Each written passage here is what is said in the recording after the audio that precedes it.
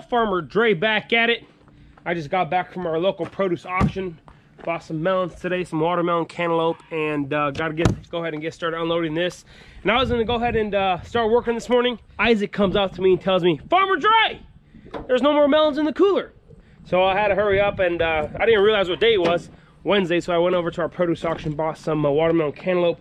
We usually get them out of the Bootheel of missouri whenever we go down there and pick up peaches but since we had plenty of peaches in our cooler we didn't go down there this week. So whenever we uh, don't have enough from the Bootheel we go down the produce auction and get some.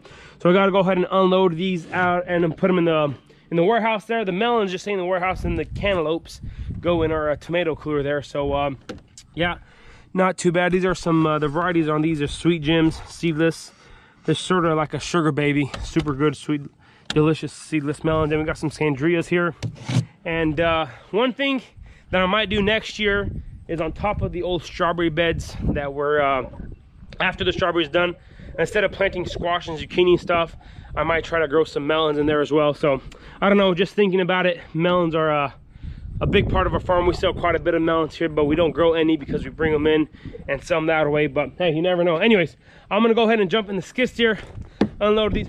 So the pallet forks is on the skid steer. That's one thing I kind of hate doing is changing the forks Got to readjust this one right here. As you can tell, it's kind of off center there. Kind of push that. There you go. Just like that. Jump in the skid steer and get started. Ugh. There you go, let it beep. Wait for the glow plugs. There you go. Turn it on. Seat belt, parking brake. And my dad always gets really mad at us if we um, just jump in the equipment and don't let it warm up. Wait about 30 seconds here, back her out of here and then get going. So I just realized that I'm kind of a dingleberry. I should unstrap these before I got the skid steer. What is wrong with me? I could blame it on the heat of summer. Oh, Monday, it was miserable out here. It was like 100, it was more like 90 some degrees. 100% chance of humidity. It was miserable. You walk outside and then you just start sweating. And just sweating by just, whenever you just breathe, you sweat. Imagine you actually start working. Anyways, I'm gonna unstrap these. Uh, under that ratchet strap one-handed. Oh, I got a magnetic mount. What am I doing? I guess I'm a rookie to this YouTube game. Cheapers. Having a hard time under this ratchet here. Jeez, what is wrong with me? There we go. 22 year old boy can't even undo a ratchet strap. Generation Z, I tell you, I tell you, there we go. Told you guys, you just work a little bit and you're drenched in sweat here. But uh, I want to go ahead and let you guys in on a little secret. So by the time you guys watch this video tomorrow, I'm gonna be turning an old man. Actually, my birthday's tomorrow, August 13th. I'll be turning 23. Yeah, I'm getting old. I'm getting old.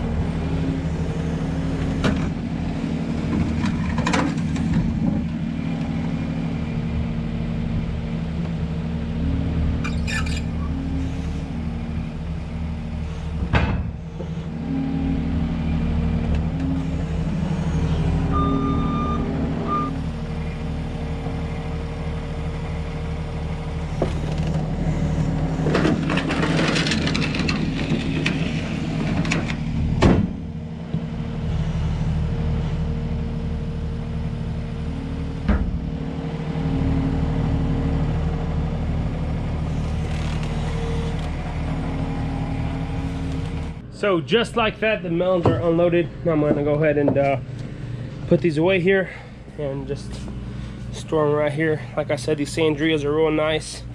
And one thing we like to do every single time we bring in melons is uh, crack one open and taste one. So I already took one in the store there. Super good and delicious, super sweet. I mean, it ain't summer without peaches and watermelon. I am the reigning pallet jack champion here at Gardener's Orchard. I'm just joking around. But I probably move most produce around. If it's not peaches, it's uh, melons. And if it's not melons, it's produce. And ah, fun stuff, fun stuff. So now I'm gonna move this uh, uh, cantaloupe here in our tomato cooler back there. And as you guys can see, it's about 55 degrees in there. And the reason you wanna store cantaloupe, they're just like tomatoes you know if you if you store them too cold then they lose a lot of their flavor and their texture but if you store them at the right temperature about 55 60 degrees they still stay fresh and uh, they stay crunchy and hard so that the uh, whenever the customer takes them home you know they should they just have a nice melon. And it makes it a lot easier on our part as uh, as we're selling them so they won't go bad as quick. So i'm gonna go ahead and uh, open the tomato cooler here. And um, we have a few from last week we got to take out put on top and then we'll throw, throw these in there. And let me tell you guys something. Loading watermelons, or not watermelons, cantaloupe by yourself, it's a pain. I might have one of my sisters come out here and help me because it's, it's already hot. Look at that. Sweating, sweating, sweating like crazy. Told you guys, 100% chance of humidity today. So these are all the cantaloupe we have left over from last week here. And uh, they're starting to get a lot of soft spots here. Though I'm just gonna throw to the cows right there. But some of these are still pretty good. I mean, we left them in the warehouse for a couple of days which we shouldn't have, but live and learn. So for the ones that are in the produce industry, you guys know, you can't always have the 100% uh, of our crop to be sold. So we do throw, you know, probably wagon like this a week away of produce and whatnot, but some weeks even more, some weeks not. So cows are gonna enjoy that.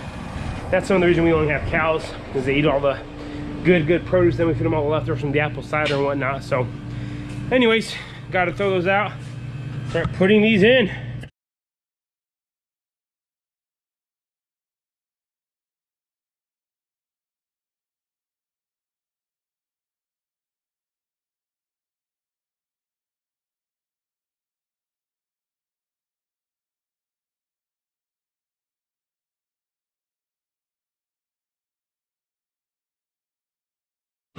just like that I believe there's 70 cantaloupe in here. So, uh, I mean, these are 10 plus pounds a piece. We actually weighed one out. Let me walk out here real quick. We actually weighed a cantaloupe out that they grew, the Amish grew, uh, about a week ago, and it was 14.97 pounds. And the reason I wanted, uh, you know, I went there today is to ask them a bunch of questions. You guys know how I am. Keep on learning, keep on growing. So I talked to one of the farmers out there, a grower, and he said that especially on cantaloupe whenever they um, you know you grow out your plant plenty of vine out there. So they just feed them like a triple 20 fertilizer get them enough uh, NP and K out there. But then whenever the cantaloupe you know they start having you know anywhere from a golf ball to like a softball size they start feeding them that high potassium fertilizer. The same the same fertilizer we have for our tomatoes they put on about 50 pounds of that a week on the cantaloupe field so then said in a matter of two to three weeks, he'll go from a softball size to, you know, you know, that 14 pounder, the average about 10 pound melon in that, in that time period. Then they feed them, you know, they consistently feed them, feed them that high potassium fertilizer so that they go ahead and start sizing up and then they ripen a whole lot quicker. So I, I got tired of sweating out there in the warehouse.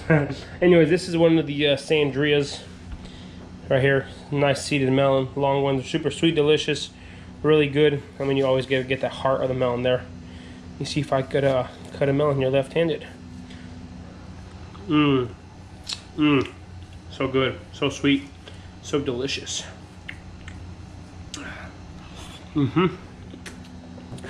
Nothing better than fresh watermelon. So for the ones that didn't know, we have a bakery here on the farm. Kind of circle around here. And one of my older sisters, she's actually a pastry chef. So she makes all the pastries and stuff for us here on the farm. So I'm gonna go ahead and I think believe yeah some made. Here we go. Yeah. So they got all kinds of those, those are uh, cheese Danish there. all kinds of blueberry and cream Danish right there. Mm mm mm, so good. As you guys can tell here by my girlish figure, you know I've eaten a little too many of them. So, anyways, uh, yeah. And pretty soon here, I'm planning on making a video with them in the bakery. So you guys stay tuned for that. So I don't know if you guys experienced this, but whenever you eat too much watermelon, you kind of get a little bloated. Anyways, I gotta go connect our stock trailer because uh, we had a flatbed trailer that we had to get repaired, do some stuff at the axles. It's actually my brother Radu's, but we got to repair now. I gotta go connect the, uh, gotta go pick it up. But my dad wants our stock trailer fixed.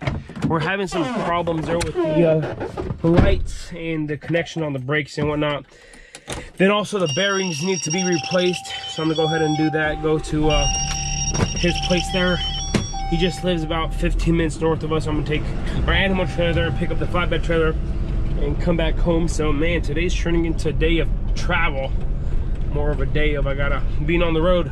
That's one thing I don't like is being on the road too much, but sometimes you have to and uh, you know, it is what it is, but we gotta get done. So I'm gonna go ahead and try to connect this stock trailer by myself Alrighty, so the good old backing up by herself didn't work too well. Had to move the truck a few more times, but the reason we gotta fix this trailer is because when you cannot plug in the brakes or you can't plug in the lights because the brakes stay locked on the trailer.